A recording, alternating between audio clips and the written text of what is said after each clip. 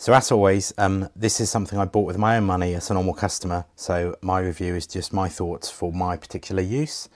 Um, I have had the Phantom 3 for a year now. And one of the issues I've had with it is the batteries are expensive, so you need to look after them. And also, often you don't know if you can fly or not until maybe the evening before, depending on the weather. So when I first bought my uh, Phantom, I bought two, uh, I bought an extra 100 watt charger, so it came with one and I bought a second one. So I could charge two batteries at a time and then the, the, my third battery in the transmitter. So in two charges I could charge everything. Uh, I also, so that I can run the batteries down if I couldn't finish the flights or if I wanted to just put them in storage rather than put wear and tear on the Phantom. I bought this little discharge rig which you just plug into the battery, uh, you turn it on and it will it'll run down the battery to storage charge when it's at storage charge now, so the light goes out. There's a little button on the, underneath that you can push to do a deep discharge, and that'll run it down to the 8%, which is, uh, which is fine, but it's a little bit uh, DIY. It's got this bulb hanging that you have to keep out of the way of things because it gets very hot. So I was looking for something better than that. And uh, over time, of course, the, uh, the, the cheap blue four-way charger came out. This is, uh, they come from eBay. Uh, they cost, uh, mine was about £37, uh, and it basically will charge three of the, the flight batteries at once and the, and the transmitter all at the same time. And it works really well. So I've used this uh, a, a, little bit, it works brilliantly. Also the, uh, the discharger, there's a nicer version of that, which I've also bought, which is the, the, the USB style. So it's got a hard plastic case, um, it's got a 10 watt bulb, not a 35 watt, so it's a little bit slower, but it's much neater. And because it's got a switch for full and um, so you can do a standard discharge to storage and you can do a full discharge for cycling. Uh, because it's got a plastic case, you can, um, it holds the bulb out of the way so you can put it on a table and it doesn't you'd have to I wouldn't put it on top of something flammable. I'd put it on the I use a lipo bag so something that's fireproof so that you can use that and that protects your work surface or whatever uh, from the heat. But it does exactly the same job. You turn on the battery and it will light the bulb and that will then run it down to storage and then stop automatically which is exactly what you need so I've been, I've saw the, these high-end chargers. The first one was the Smart Power Charge, uh, which is about 300 plus pounds. Uh, awkward to buy in the UK. It's a heavy item, so awkward to get posted from America. So, but I know people have got them, which has, uh, it, it will charge four batteries at once, and it will also charge your transmitter, and it also has USB ports, so you can charge your iPad or whatever, which is really nice. Uh, but expensive, really expensive.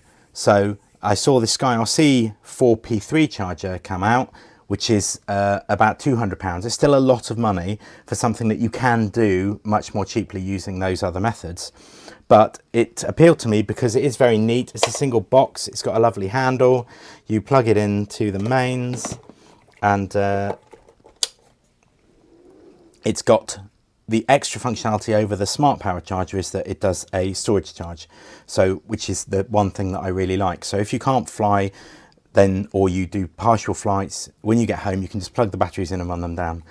Now this only does 10 watt discharges uh, which means it will take a, uh, about five hours to, to discharge a full battery um, to this to cycle it down to 8% it'll take about sort of a couple of hours to storage charge a battery which is quite a long time, but you don't have to attend to it. It's got cooling fans, so that appealed to me. Uh, it, it, default when you turn on is that it'll charge the battery. Uh, then you push storage for the storage mode. You turn the battery on and plug it on, and it'll run it down to uh, 50 percent roughly. Uh, and then cycle you turn the battery on, plug it in, it will discharge the battery down to 8% and then it will automatically then fully recharge it back to 100%. So that is really nice and a useful feature. Um, however, uh, I found it isn't actually very usable. The, the issue is, if I just drop a battery on, you'll see it's fairly hit and miss. No, okay. So basically these batteries are all flashing their third light Right, these two are flashing the third light, which means over voltage. this one has actually started to charge. It does seem to be hit and miss uh, which way you plug them in, if you turn it off and on. But the fundamental problem is that the, uh, let's just take that off, is the voltage of the charger is too high. So I made a, a quick little test video to show this. The, the issue is really that the DJI chargers are 17 and a half volts. The batteries charge up to about 15 something volts, 15.8 I think. So that's, that's just over, which is fine. The blue four-way cheap eBay charger is exactly the same voltage, 17 and a half volts. This SkyRC charger is, is 18.8 volts. So yeah, as such, it's, it's really not usable. Um, it will void your warranty using a non-DJI charger, which I know all my batteries are out of warranty now. This charger, unfortunately, is a very high price and actually unusable. So I've made a quick video. The sound is bad, but just to show what happens uh, with the cycling and, and testing the voltages. So I'll pop that on now. So this is running storage discharge on three batteries that were almost at storage. Well, they should have been at storage anyway. So you can hear the fan is running. And they're each showing voltages around 15.5, 15.7, 15.6. So this runs, the, I mean, this seems to take quite a long time. It takes about 15 minutes before they complete. So we'll see, uh, I'll cut away and come back when that's done.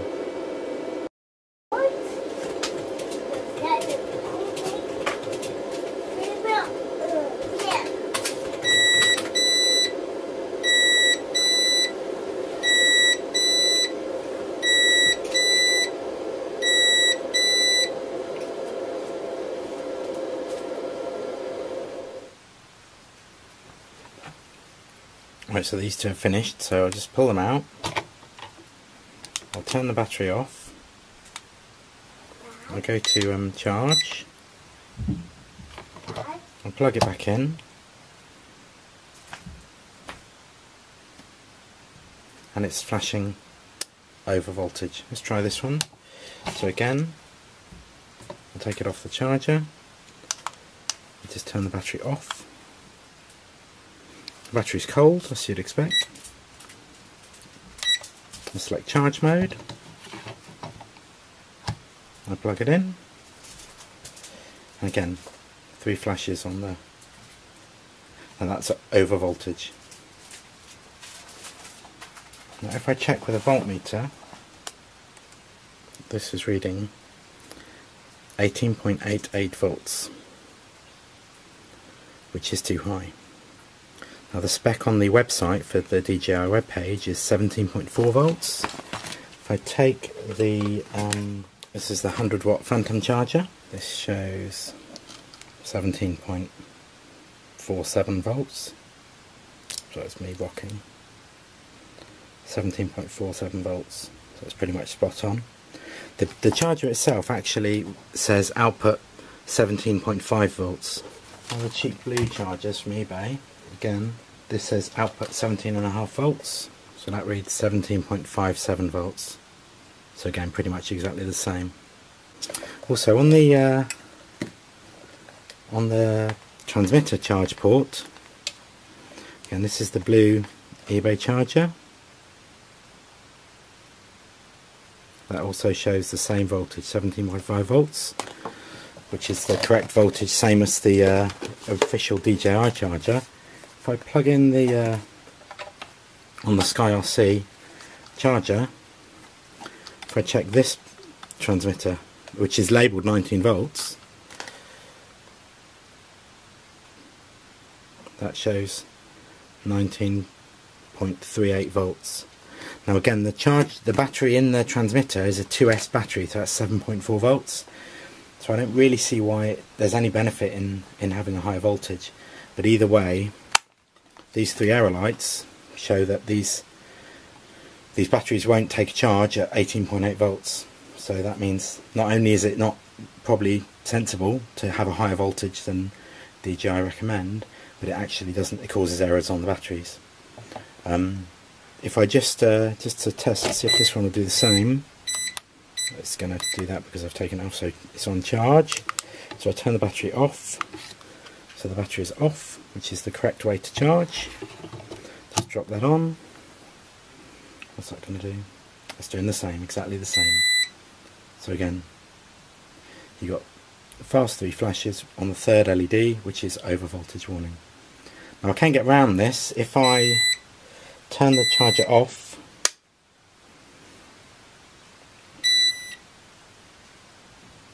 Let's wait for those error lights to settle.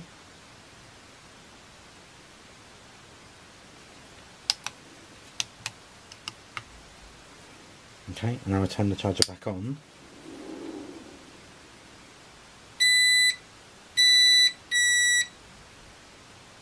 Okay, so these two are charging. This one is still showing over voltage.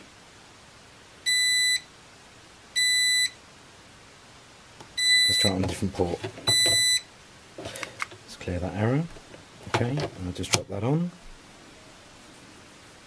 No, that's still erroring again. So there's no way to charge those batteries really without turning it off and on each time, which I don't think is sensible. I suspect that's really just bypassing the error because it means the voltage is coming up when the battery starts to charge. So I'll just pull those all out. So sadly, right, Okay. So sadly, I feel this charger is unsafe and unsuitable, and uh, it's, it's, not acceptable.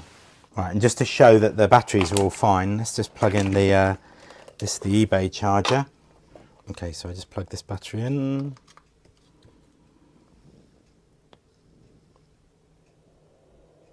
And you can see that battery is charging perfectly, as you'd expect.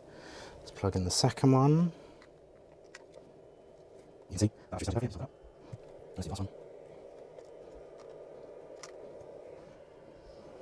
You can see that all three batteries are charging perfectly on that blue charger. And they charge perfectly on the DJI charger as well. So it's definitely not an issue with any of these batteries. Hope that's useful.